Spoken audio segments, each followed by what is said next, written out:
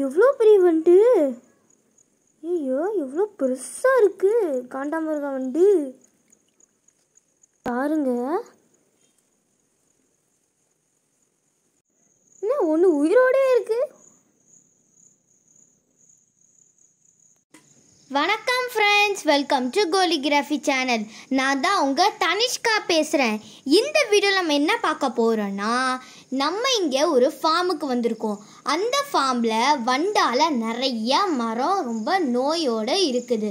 அந்த நோயை எப்படி வந்து குணப்படுத்துகிறாங்க அப்படின்னு தான் நம்ம இந்த வீடியோவில் பார்க்க போகிறோம் வாங்க நம்ம வீடியோக்குள்ளே போகலாம் இந்த வண்டோட பேர் காண்டா மிருகம் வண்டு. இதை எப்படி கெமிக்கல்ஸை யூஸ் பண்ணாமல் அவங்களே தயாரித்து எப்படி செய்கிறாங்க அப்படின்னு தான் நம்ம பார்க்க போகிறோம் இந்த மரத்தை பாங்க இதுதான் வந்து காண்டாமிருக வண்டு வந்து கடிச்சு வச்ச மரம். இந்த வண்டு வந்து ரொம்ப மோசமான வண்டு. இது வந்து மரத்தையே அப்படியே சாப்பிட்டுரும். ஈஸியான வழியில் இந்த பூச்சியை பிடிக்கலாம். வாங்க அது எப்படி தயாரிக்கிறதுன்னு பார்க்கலாம்.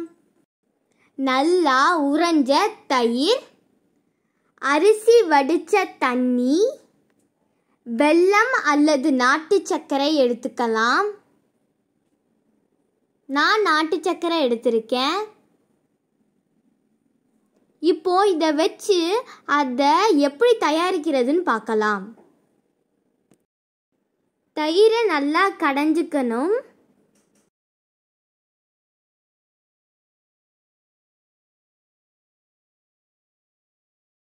அரிசி வடித்த தண்ணியும் கலந்துக்கோங்க. ஒரு கைப்பிடி நாட்டு சக்கரை போட்டுக்கோங்க. நல்லா வந்து மிக்ஸ் பண்ணிக்கோங்க.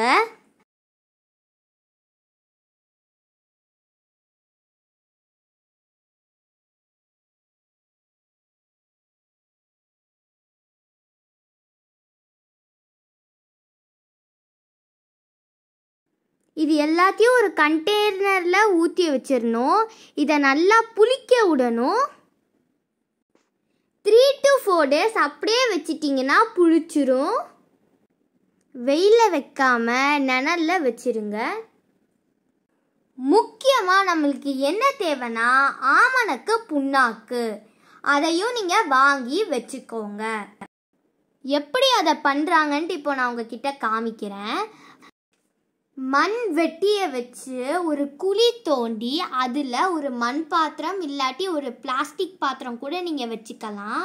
அதை வச்சுட்டு சுற்றி வந்து கொஞ்சம் மண்ணை வச்சு கொஞ்சம் க்ளோஸ் பண்ணிடுங்க ஆமணக்கு புண்ணாக்க அந்த பானைக்குள்ளே போட்டுட்டு நம்ம ரெடி பண்ணி வச்சுருந்த கரைசலை எடுத்து ஊற்றிருங்க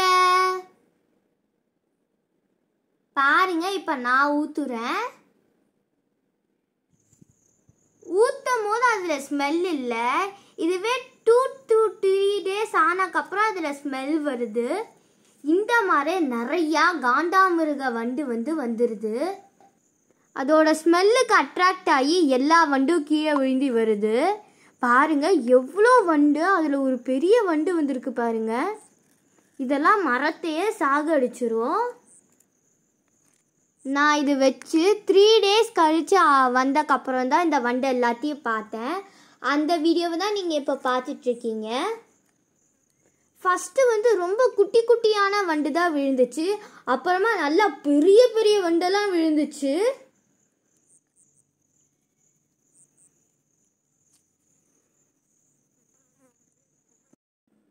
நான் த்ரீ டேஸ் கழிச்சு இப்போ வரேன். இப்போ வந்து நிறைய வண்டு விழுந்திருக்கு முன்னாடி டைமோட நிறைய பெரிய பெரிய வண்டு கூட இப்போ விழுந்திருக்கு. பாருங்க.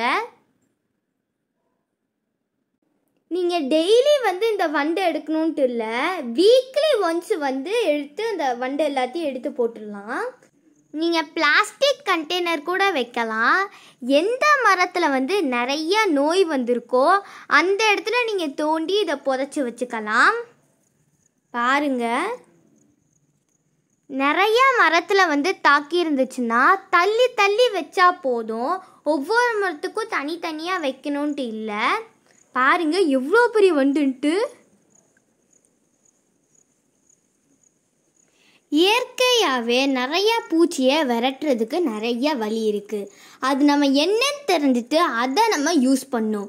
கெமிக்கல்ஸ் யூஸ் பண்ணோன்னா மரம் வந்து சீக்கிரமாக இறந்து போகும். அதுக்கு பதிலாக இந்த மாதிரியே நம்மளே தயாரித்து பண்ணோன்னா நம்ம மரம் வந்து நிறைய நாளைக்கு இருக்கும்.